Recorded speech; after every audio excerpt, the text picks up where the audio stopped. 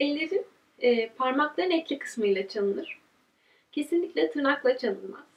Ancak bazı özel arplar, e, metal telli, e, İrlanda arpları ki bu dünyada çok az çalınan, İrlanda'da bile unutulmaya yüz tutmuş eski bir gelenektir.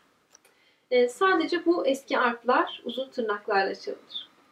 Onun dışında hiçbir arp kesinlikle kesinlikle kısa tırnakla çalınmalıdır. Çünkü uzun tırnaklar tellerimize çarparak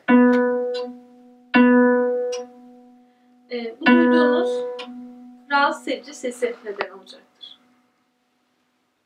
Tırnakların arpamızın tellerine değmemesi gerekiyor.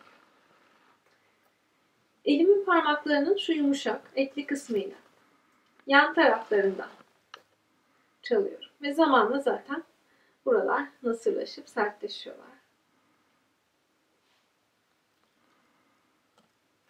Yuvarlak bir şekilde elimi koyuyorum.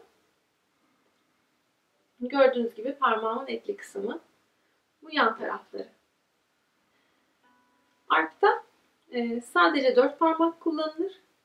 E, piyanodaki aynı e, parmak numaralandırması 1, 2, 3, 4, 5. Baş parmak 1, küçük parmağım 5 numaradır. Ama piyanoda olduğu gibi 5. parmak kullanılmaz. Bunun nedeni 5. parmağımın çok kısa kalması. Onu kullanmak isteseydim e, elimin pozisyonunu biraz bozduğunu görüyorsunuz 5. parmağı kullanmak istediğimde. E, başka bir farklı olan parmak, kısa olan parmak baş parmak. Baş parmak e, artta her zaman sorun yaratan bir parmaktır. Ya fazla çıkar e, sesi ya az çıkar. Çünkü diğer parmaklardan daha kalındır. E, diğer parmaklardan aslında güçlüdür. Ama bir yandan kısadır. E, dolayısıyla onu kontrol etmemiz diğer parmakların sesi birbirine eşit gelirken baş parmak sesi çok farklı geliyor olabilir. Böyle bir şey e, özellikle vurgu yapmak istemiyorsak eğer kaçınacağımız bir şey tabii ki.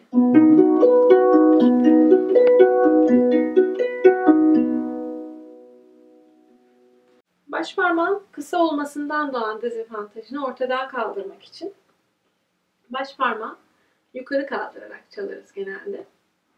E, bu çok açık pozisyonlar oktav gibi hariç.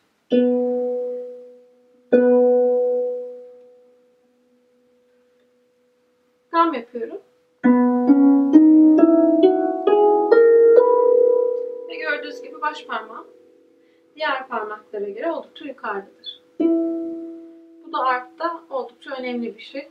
E, oturması e, ilk başlarda e, yeni başladığımızda öğrenmemiz gereken tekniktir.